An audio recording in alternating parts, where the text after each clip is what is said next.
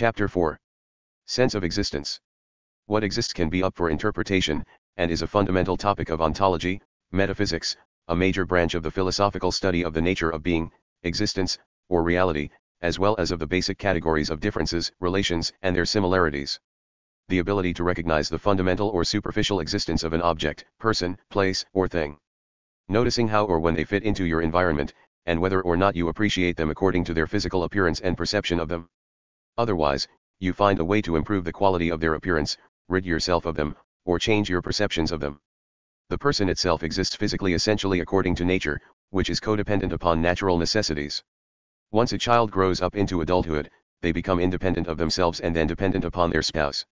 After that, the objects, places, or things are perceived as man-made inventions. The bigger question is are these entitlements, essential to living a happy and productive lifestyle?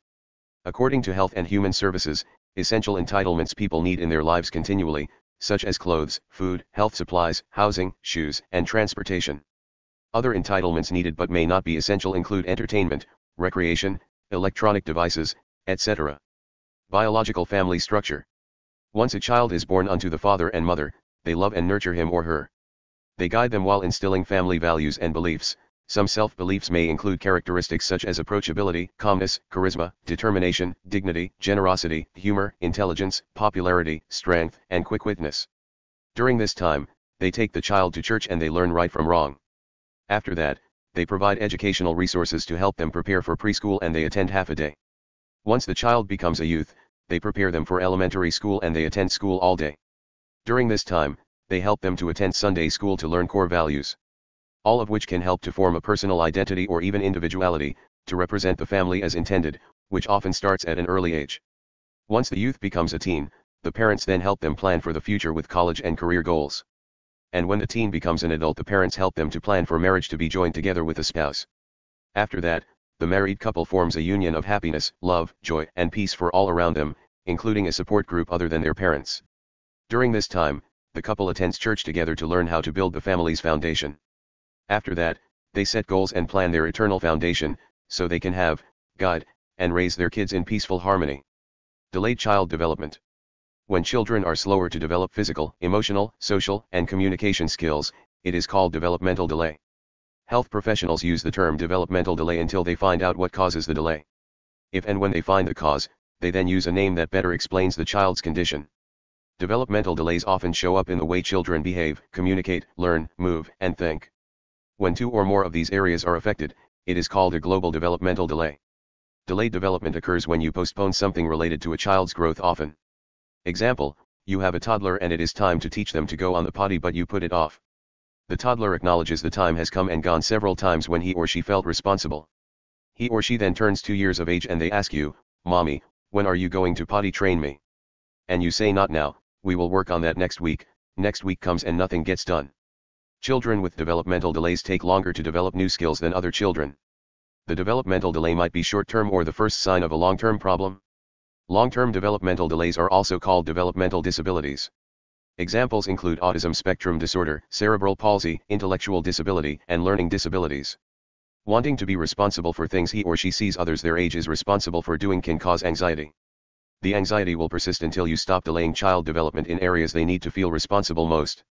Global developmental delay is an umbrella term used when children are significantly delayed in their cognitive and physical development.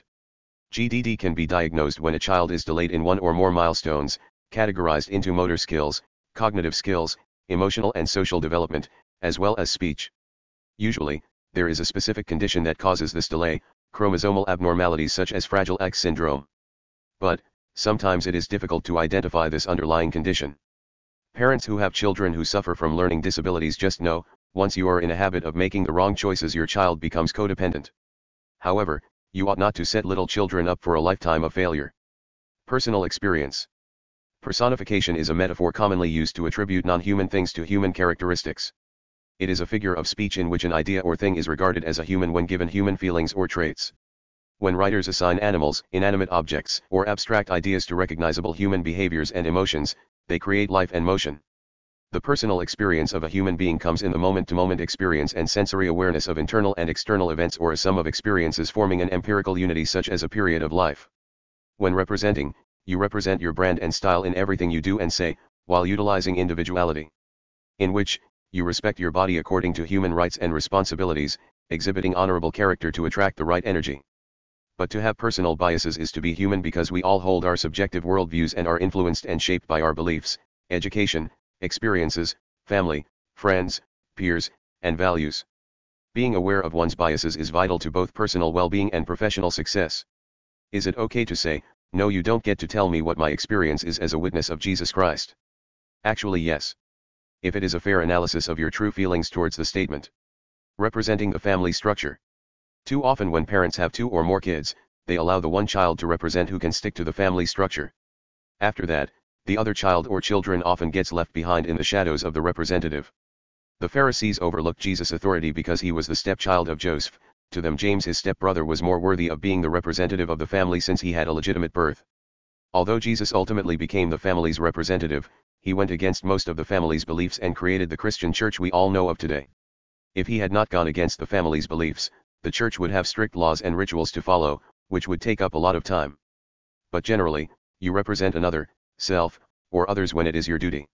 Serve to represent whether acting or standing and learn what is and what isn't expected of you. When representing the family do it according to your family structure, and avoid stepping outside the family beliefs and values. Example of horrible individuality. Writing a book about apples, and then putting a picture of yourself on the front of the book will cause a shock when looking at the title. This shows signs of inferiority and superiority complexes because your picture won't give a clear understanding of apples. Putting an author's picture on a book when it isn't about them, is something a lot of writers do nowadays. When in fact the book won't give a clear understanding of where the fruits are. From what I have noticed, the authors say basic information using a ton of words rather than just getting to the point. This is an error in human judgment that can be corrected for future generations to fully understand practical logic. When you write about an author put a picture of them on there, if you have written about apples simply put a picture of apples on the book. Stability in the home life. The outside of a home's physical condition ought to be structurally stable to remain in it. The home life models the character a person will convey to their audience because the vows of God remain in a person's heart when the home life is stable. Therefore, home life ought to be comfortable, consistently clean, and transformable. The home ought to be built on rational guidance, joy, love, natural affection, nurturing, peace, and respect. To develop and grow into maturity, financial stability, education, logic, and reasoning, and transportation are must-haves. Other must-haves are further education, mutual agreements, loyalty, and respect for authority figures. Submissive and unsubmissive nature. Submissive is using the ability to be humble, resistible, or yielding. You acknowledge to submit to God and others, therefore, others submit to you. Due to having the mental stability to learn from mistakes, you are likely to yield to authority figures. Which makes you certain, mature, meek, and lily at heart. Whereas unsubmissive is using the ability to be less humble, non-resistant, or unyielding. You don't acknowledge to submit to God and others, therefore others don't submit to you. Due to having mental instability to learn from mistakes, you are unlikely to yield to authority figures. Which makes you immature, vulnerable, weak, and uncertain. After that, it wouldn't take much getting out of line with God to be classified as unstable. Mature and immature behavior. This pertains to an adult who is middle-aged or older that is full of character and has reached full potential. When you are mature, it means the body and mind are complete in natural development and growth, and as known being too mature can make you appear transformed and old school. This pertains to a newborn unto middle age who lacks full characteristics of reaching full potential. When you are immature, it means the body and mind are incomplete in natural development and growth, and as known being too immature can make you appear childish and in transformation. Fellowship. The gift of God to have eternal life and have it more abundantly is a gift from the heart for all the world to receive. An everlasting gift that lives on through the spiritual soul and is to be passed down to the next generation. The condition or relation of being a fellow friend is a part of a fellowship in a congregation, in which members invite others to the church. As a Christian, it is up to us to show people living in the fleshly mind, the Spirit of God's light. It will help anyone live through Jesus Christ's righteousness to get focus and stand firm, and this is how to fellowship. It is difficult for people who don't acknowledge Him as the Spirit of God, to acknowledge that anything is to be long-term ought to be viewed from the spiritual perspective, and not of the flesh. The obvious issue isn't knowing the lust isn't of Him, it is changing the mind from immoral thinking to moral thinking. In general, to live of the Spirit and not of the flesh because lusts of the world aren't of Him. Example, the scarlet is supposed to be red, but when you are full of corruption, sin, the scarlet is purple. The blood represents the scarlet robe, which turns to white when traveling throughout heaven as an angel of God. Jesus' gift of a righteous lifestyle can make the scarlet white, in turn, This will enable tools to cleanse the blood from purple to red. Claiming the victory. The church as a whole has been in a spiritual battle of warfare since Jesus started to exist in spirit. However, God hath not appointed us to wrath, but to obtain salvation by our Lord Jesus. Thessalonians 5 9, joy is said to mean Jesus, others, and self. We can't claim the victory without wanting to see others achieve the same victory. Achieving a victory only when it will affect you directly or indirectly, doesn't show you are willing to complete the battle. You can't look for a battle when it is time to claim the victory, and you can't claim the victory when it is time to fight the battle. Too many people are experiencing fake joy. Paul also said, Warn them that are unruly, comfort the feeble minded, support the weak, be patient toward all men. See that none render evil for evil unto any man, but ever follow that which is good, both among yourselves, and to all men. Rejoice evermore.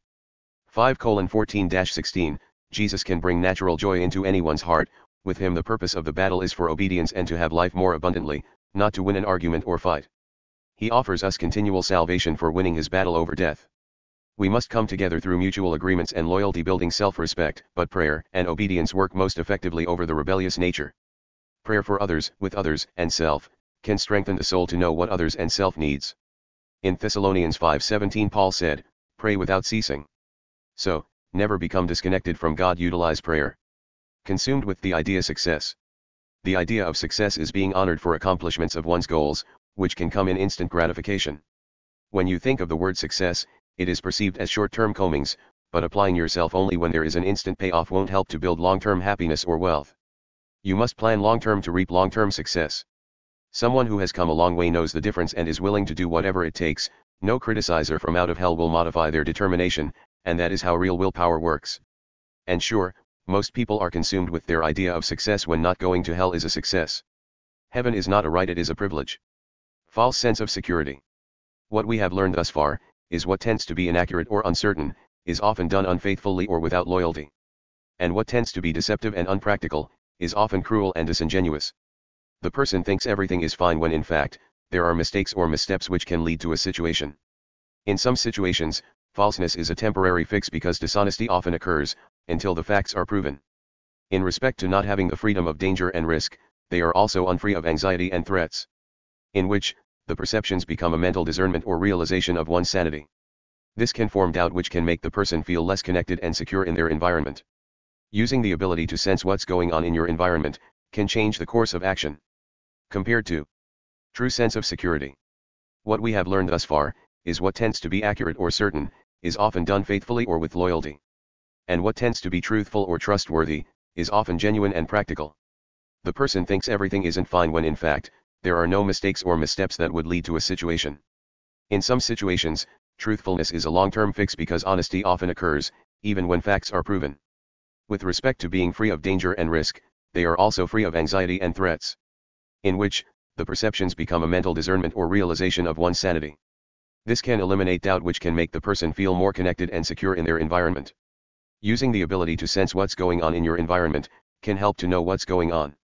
Sense of entitlement. The functions of human anatomy enable the ability to sense what is entitled, and it involves fundamental as well as superficial existence. To be legally entitled to something, the person who holds the power of authority would have to give you the claim, right, or title, to permit such action. Entitled traits are valued by culture and society as a part of one's individuality, it shows one's uniqueness with the ability to know what one needs. As human beings, everyone is entitled to a better quality of life, and sure, we are naturally programmed to need more than what is entitled. You have entitlement on any class level, ethnic, and social status, there is no denying it. People who avoid enforcing entitled upon others often believe earning, with hard work and determination is how to acquire things. But, when aging and health get worse, you are confronted with limitations that threaten your need for entitlement, and the idea of social life doesn't meet the idea of success as intended. Confronting those limitations may clash with worldviews, in which, the outward personality trait may endure unmet expectations that can form into a self-reinforcing behavior. When an entitled person is programmed to think that they ought to receive everything without cost, it often costs their happiness along with other relationships. Only under extreme levels, entitlement is a toxic narcissistic trait that exposes people to feelings of disappointment, frustration, and unhappiness with life. The entitled benefits are shortcomings with long-term consequences and are associated with depression, interpersonal conflict, and poor relationship skills. Belief in entitlement is a rising phenomenon that is leading to more psychological and social costs. where people believe they are more entitled than the prior generation. Yet still, researchers have discovered entitlement is driven by exaggerated feelings of deservingness and superiority. Jesus said your treasures are in heaven, so at least wait until you move to a heavenly place before extending the needs. Could a false sense of security start with kids in the home? Actually yes. The false sense often reveals worse things, such as abuse or neglect. Utilizing entitled effectively. The belief in entitlement itself can be considered as a false sense of entitlement, however, it isn't against the law to sense entitlement. Everyone has a sensing ability, but not everyone utilizes entitled effectively. If everyone utilized entitlement from a righteous sense, no one would feel entitled. When you use entitlement from a righteous sense, you start noticing your desires, needs and wants getting met in an orderly fashion. It is the impatience of entitlement that makes your needs not get met. Now having said, when babies are born you must teach them the proper reasons to cry. They can cry for bathing, dirty diaper, a reminder of one of the eating times, and adequate attention and love. Those are the practical reasons for babies crying, but excessive crying is taught once you show them you can't keep promises. Then in actuality, they are already aware the trust is broken. From what I have noticed, some parents don't repeat the necessary steps to gain trust with the baby, because they don't want to be held accountable for the baby feeling a sense of entitlement towards things he slash she needs. This is a dangerous mistake parents often make, and it is the wrong thing to do during a child's development. But generally, those parents are often treated the same way, and the mentality got passed down, but all this would need to stop before considering yourself a good parent. Discipline your child but don't take away their entitlement to child development. Remember depriving them of development isn't needed, over the knowledge of God's Word. 5. Entitlements, where needs often go unmet. 1. Men, women, or kids often feel a need for quality time, with each other or spouse. 2. A person may feel the need to be number 1. 3. Everyone can use better civil and human rights. 4. Material gains. 5. Subrace entitlements. 16 Complex and extreme levels of entitlement. 1. Openly advertising self-pity as melodramatic, in attention-seeking ways. 2. Deep-seated conviction is a top priority, even when stepping all over others. 3. Often craving admiration and adoration. 4. Desiring happiness, and going out the way at the expense of others to ensure that takes place.